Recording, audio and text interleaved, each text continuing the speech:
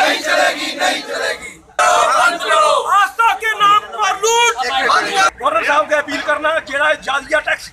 हिंदुओं पर लाया ਇਹ ਸੀ ਜਲਦ ਤੋਂ ਜਲਦ ਹਟਾਇਆ ਜਾ, ਕਿਉਂਕਿ ਸਾਡਾ ਗਰੀਬ ਪਰਿਵਾਰ, ਜਿਹੜੇ ਲੋਕ ਤਾਂ ਆਰਤੀ ਚ ਬੋਣਾ ਚਾਹੁੰਦੇ ਨੇ, ਅਟਕਾ ਦਾ, ਆਰਤੀ ਦੇ ਉਹਦੇ ਪਰ ਨਾ ਪਰੇ ਨੇ 2000 ਰੁਪਏ ਜਿਹੜਾ ਜਾਦੀਆ ਲਾਇਆ ਗਵਰਨਮੈਂਟ ਅੱਗੇ ਸਾਡੀ ਹੱਥ ਜੋੜੀ ਅਪੀਲ ਹੈ। ਅਗਲੇ ਹੱਥ ਜੋੜੀ ਅਪੀਲ ਹੈ, ਆਉਣ ਵਾਲੇ ਟਾਈਮ 'ਚ ਹੱਥ ਅਪੀਲ ਨਹੀਂ ਹੋਵੇ। ਆ ਚਾਹੁੰਦੇ ਆ ਕਿ